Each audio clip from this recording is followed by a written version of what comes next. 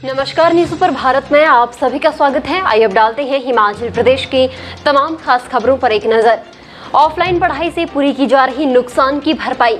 जी हाँ पूरी जानकारी आपके साथ साझा करेंगे। कोविड के कारण अनाथ हुए बच्चों का बना हिमकेयर कार्ड। हिमकेयर कार्ड उन बच्चों का बनाया जा रहा है जो कोविड के कारण अपने माता पिता को खो चुके हैं। ये भी पूरी जानकारी आपके साथ साझा करेंगे। सैनिक आशीष को मिला सेना मेडल। क्यों?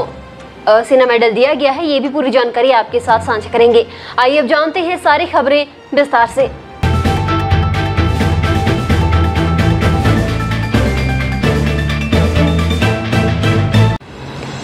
उपमंडल नदौन के रंगस गाँव के निवासी भारतीय सेना में सेवारत सिपाही आशीष ठाकुर को सेना मेडल से नवाजा गया है। बीते सप्ताह सेना के कार्यक्रम के दौरान लेफ्टिनेंट जनरल अमरदीप सिंह भिंडर ने बहादुरी एवं अदम्य साहस के लिए उन्हें सेना मेडल से अलंकृत किया। 23 जून 2020 को जम्मू कश्मीर के एक गाँव में तलाशी अभियान के दौरान आतंकवादियों ने सैन्य बल पर अंधाधुंध फायरिंग की थी। उसी समय आशीष ठाकुर ने भूतपूर्व साहस का परिचय देते हुए मुठभेड़ में एक आतंकी को मार गिराया था।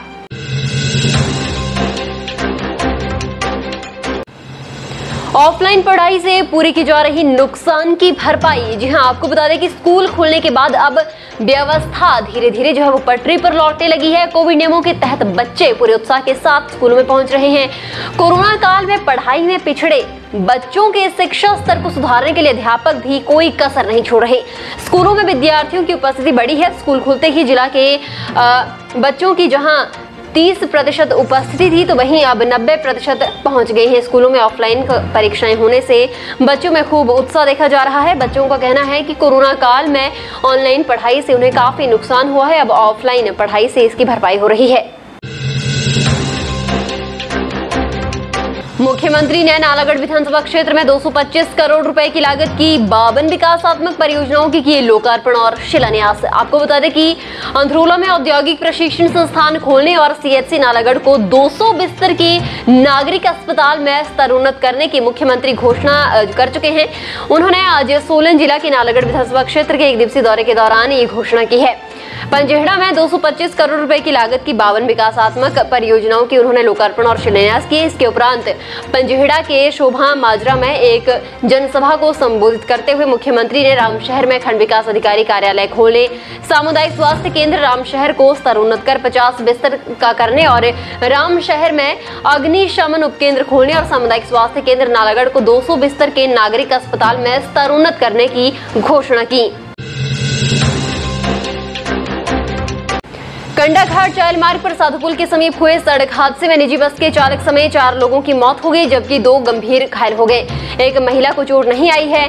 घटना शनिवार सुबह करीब 10 बजे की बताई जा रही है।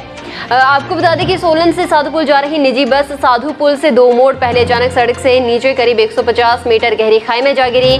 जानकारी के मुताबिक बस में चालक, परिचालक समेत कुल सात लोग सवार थे। स्थानीय लोगों ने इसकी सूचना प्रशासन को दी, जिसके बाद प्रशासन की टीम ने मौके पर पहुंचकर बचाव कार्य शुरू कर दिया। घायलों को कोटाघाट अस्पताल लाया गया, जहाँ से उन्हें प्राथमिक उपचार के बाद आईजीएमसी शिमला रेफर कर दिया गया। वहीं पुलिस ने मामला दर्ज कर हादसे के कारणों की जाँच शुरू कर दी है। अटल टनल रोहतांग के नॉर्थ पोर्टल में बर्फ़ की आकृतियाँ देखकर सैलानी हुए गदगद। आपको बता दें कि हिमाचल प्रदेश के जनजातीय जिला लाहौल स्पीति में अटल टनल रोहतांग के नॉर्थ पोर्टल स्थित गुफा होटल में शनिवार को क्राफ्ट मेले का आयोजन किया गया। लाहौल स्पीति जिला प्रशासन और स्थानीय पंचायत युवाओं के सहयोग से आयोजन किया गया। मेले में कोकसर पंचायत के युवाओं ने बर्फ़ पर विभिन्न प्रकार की कलाकृतियाँ उकेरी और जिससे लोगों और सैलानियों ने खूब पसंद भी किया। इसमें विनोद कुमार की टीम ने बर्फ़ पर ड्रैगन की आकृति बनाकर पहला स्थान प्राप्त किया। दूसरे स्थान की अगर बात करें तो दूसरे स्थान पर सुनील की टीम रही। सैलानियों ने बर्फ़ से बनी आकृतियों को खूब पसंद भी किया।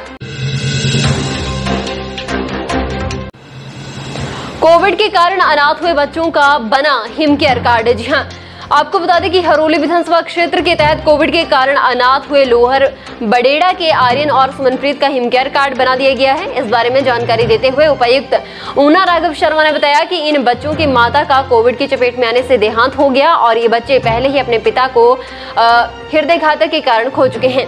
उन्होंने बताया कि माता पिता की मृत्यु के पश्चात इनके करीबी कर्मी देवी द्वारा बच्चों की देखभाल की जा रही है। उन्होंने बताया कि महिला एवं बाल विकास विभाग द्वारा कर्मी देवी को इन बच्चों के पालन पोषण के लिए 2,500 यानी कि 25 पच्चीस सौ रुपए सहायता राशि प्रदान की जा रही है।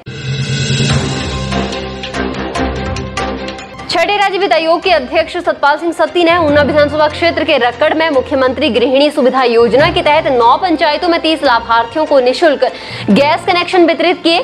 उन्होंने कहा कि पात्र परिवारों को खाना पकाने के लिए धुआँ रहित ईंधन प्रदान करने के लिए प्रदेश सरकार और प्रदेश सरकार की ओर से गैस चूल्हा, रेगुलेटर, सुरक्षा पाइप, सिलेंडर और पासबुक सहित दिए जा रहे हैं। सत्ती ने कहा कि हिमाचल को रसोई से धुआँ मुक्त राज्य घोषित किया गया है और ये उपलब्धि प्राप्त करने वाला हिमाचल प्रदेश, देश का पहला राज्य बना है। सतपाल सिंह सत्ती ने कहा कि निशुल्क गैस कनेक्शन मिलने से महिला सशक्तिकरण को एक नया आयाम मिला है और इसे पर्यावरण संरक्षण में भी मदद मिली है। भारतीय कृषि अनुसंधान परिषद की तिरानवी वार्षिक बैठक नई दिल्ली में केंद्रीय कृषि एवं किसान कल्याण मंत्री नरेंद्र सिंह तोमर की अध्यक्षता में संपन्न हुई बैठक में हिमाचल प्रदेश से कृषि मंत्री वीरेंद्र कंवर और कृषि निदेशक नरेंद्र कुमार धीमान ने इसमें भाग लिया। इस अवसर पर कृषि मंत्री ने प्रदेश के कृषि संबंधित मुद्दों पर चर्चा करते हुए प्रदेश में पोटैटो सिस्ट लिमिटेड की समस्या को केंद्रीय मंत्री के समक्ष रखते हुए कहा कि राज्य में आलू आय का मुख्य साधन है और लगभग पंद्रह हज़ार एक सौ हेक्टेयर क्षेत्र में आलू का उत्पादन किया जाता है। जिसके लिए लगभग तीन लाख क्विंटल बीज आलू के प्रमाणित बीज की आवश्यकता प्रतिवर्ष होती है। प्रदेश में कृषि विभाग द्वारा आलू विकास केंद्रों पर लगभग 55 हेक्टेयर क्षेत्र के क्षेत्र में फाउंडेशन बीज आलू का उत्पादन किया जाता है। उन्होंने कहा कि गत चार वर्षों से प्रदेश के आलू विकास केंद्रों पर बीज आलू का उत्पादन कार्य पोटैटोसिस्ट निमेटोड के कारण प्रभावित हुआ है, जिससे प्रदेश के सरकारी फार्मों पर फाउंडेशन बीज आलू का उत्पादन संभव नहीं है, जिससे किसानों की आर्थिकी को बहुत नुकसान हुआ है।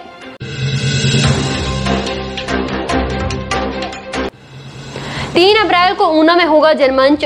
सरवीण चौधरी होंगी मुख्य अतिथि। जी हाँ ऊना विधानसभा क्षेत्र में इस बार जनमंच का आयोजन 3 अप्रैल 2022 को किया जाएगा, जिसकी अध्यक्षता सामाजिक न्याय एवं अधिकारिता मंत्री सरवीण चौधरी करेगी। ये जानकारी जनमंच के आयोजन से संबंधित तैयारियों पर बुलाई गई बैठक में अतिरिक्त उपायुक्त डॉक्टर अमित कुमार शर्मा ने दी। एडीसी ने बैठक में कहा कि इस बार जनमंच कार्यक्रम का आयोजन डिफेंस एकेडमी ऊना नज़दीक आरटीओ कार्यालय मैदान में किया जाएगा, जिसमें नगर परिषद ऊना के सभी ग्यारह वार्डों के साथ साथ ग्राम पंचायत अरनियाला अपर और लोअर, रामपुर, महालत और टब्बा पंचायतों के लिए रखा गया है। हिमाचल प्रदेश में इस वर्ष 2000 किलोमीटर सड़कों की टॉरिंग होगी। प्रदेश सरकार के निर्देश पर लोक निर्माण विभाग ने टॉरिंग का लक्ष्य निर्धारित किया है। अगस्त तक क्षतिग्रस्त सड़कों को ठीक किया जाना है। सरकार ने टेंडर करने के भी आदेश जारी कर दिए हैं। जूनियर इंजीनियर से लेकर अधिशासी अभियंता टॉरिंग के समय फ़ील्ड में तैनात होंगे। टॉरिंग में गड़बड़ी पाए जाने पर ठेकेदार और अधिकारियों के खिलाफ कार्रवाई होगी। आपको बता दें कि हिमाचल में बारिश और बर्फबारी के चलते लोक निर्माण विभाग को एक सौ छप्पन करोड़ का नुकसान हुआ है। कुल्लू, शिमला चंबा लाहौल स्पीति और किन्नौर जिलों में कई सड़कों पर गड्ढे जो हैं, वो भी बन गए हैं। पत्थर और मलबा आने से कई सड़कें जो हैं, वो भी टूट चुकी हैं। फ़िलहाल के लिए बस इतना ही और बड़ी खबरों के लिए बने रहे न्यूज़ सुपर भारत के साथ।